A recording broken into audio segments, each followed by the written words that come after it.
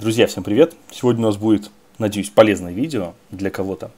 Э, суть какая? Мне многие сейчас пишут по поводу проблем с обновленной iOS 14, которые они установили, собственно, на свои айфоны. Непонятно, правда, зачем в первые дни это делать, конечно, ну ладно. То есть, если вы тестер, если вы разработчик, может быть, если вы только как бы э, хотите чего-то нового, да, интересного, ну окей, ладно. Но если вы просто человек, который просто хочет пользоваться устройством и требуется вам от него какая-то стабильность, какая-то да, работа беспроблемная, то, наверное, непонятно, зачем вы это делаете. Но, тем не менее, проблему вашу решить можно. Смотрите, если вы установили iOS 14, она вас не устраивает, как она работает, есть какие-то проблемы, э, можно вернуть iOS 13.7. Э, первое, что вам нужно сделать, вам нужно скачать, собственно, саму прошивку. Есть куча источников, я могу порекомендовать только вот сайт ipsve.me. Это сайт, которому, не знаю, лет уже, наверное, 10, э, может быть, даже больше. Он появился примерно в тот момент, когда появился там App Store да, у айфонов это, по-моему, 2008 или 2009 год. И здесь, собственно, хранятся все версии прошивок для всех устройств Apple, начиная там от часов Apple TV до HomePod, да, то есть все, что вам нужно для работы с софтом базовым, да, и плоским здесь есть.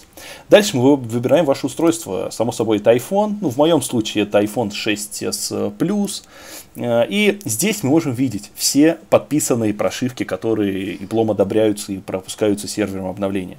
Вот даже здесь написано Signet IPSV. Причем о, дочь моя комментарий дает. А, причем, смотрите, сейчас подписаны прошивки две. iOS 13.7 и iOS 14.0. Вот их сборочки здесь указаны и релизные даты. Также указан размер. Здесь 3,7 гигабайта, здесь 4,3. Смотрите, после того, как вы скачали, вот у меня сейчас идет скачивание прошивки. Мы смотрим, где она лежит в файловой системе, ну или же в Finder, э, как это у меня. Вот она скачивается, вот ее расширение необходимое для iTunes. После того, как мы ее скачали, нам нужно зайти э, в iTunes, и в iTunes э, в меню iPhone нажать кнопку «Восстановить iPhone» э, с зажатой кнопкой Option э, на Mac или, по-моему, Shift на винде. Зажимаем кнопку Option или Shift и нажимаем «Восстановить iPhone».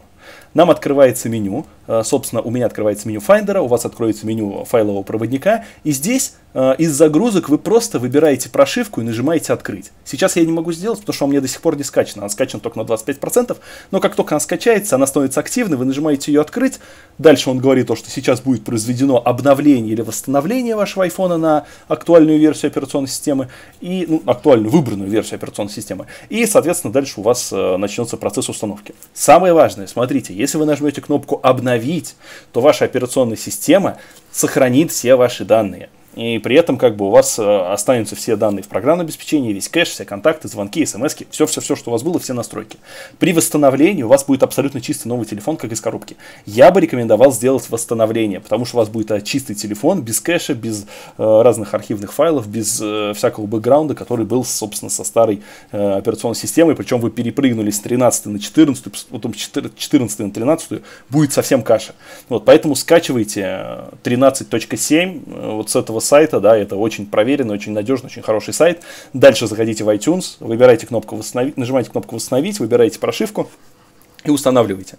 Я больше чем уверен, что это видео, э, оно зайдет не всем, потому что я думаю, процентов, наверное, 50 моих зрителей знает о том, как это сделать, и наверняка знает о том, что сейчас Apple подписывает, до сих пор подписывает 13.7, и я думаю, это будет происходить, ну, однозначно еще, наверное, минимум месяц. Вот, поэтому без проблем возвращайтесь на 13.7, 14 еще сырая относительно, да. Э, также, кстати, если вы откроете прошивку, вы сможете увидеть вообще всю о ней информацию, также все фишки, то есть, ну, охрененный сайт, рекомендую, пользуйтесь, э, потому что им пользуются, собственно, все, э, все сервисники, все, кто занимается техникой, да, поэтому здесь, кстати, даже есть информация еще и об устройстве и прочее, прочее, поэтому удобно. Вот, ну, единственное, что реклама иногда всплывает, да, ну, опять же, хозяинам сайта, сайта надо как-то кушать. Еще раз повторюсь, делается это все с помощью компьютера. Вам нужен iTunes. Причем, смотрите, если у вас установлено будет iOS 14, то для начала, я вот показываю вам на примере iPhone 8, он у меня на 13 прошивке, то для начала вам нужно будет обновить iTunes. В моем случае, например, у меня iTunes еще не обновленный.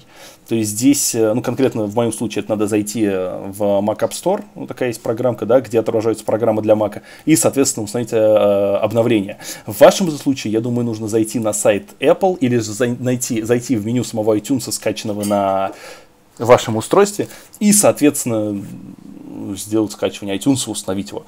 Причем, смотрите, несовместимое обновление iMovie. А почему несовместимое? Видимо, версия моего компании нравится.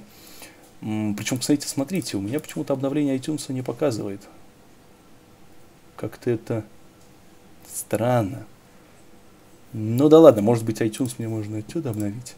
Короче, вот я сейчас iTunes, э, не к iTunes, а подключаю iPhone 6s Plus, он его не отображает. Не знаю. Ну, короче, iTunes должен быть обновленным, потому что вот у меня сейчас стоит э, версия, насколько я помню, да, 12.8, там у вас должна быть версия 13 установлена. Все, спасибо за просмотр, подписывайтесь на канал, скачивайте прошивки, ссылка будет на этот сайт, естественно, в описании.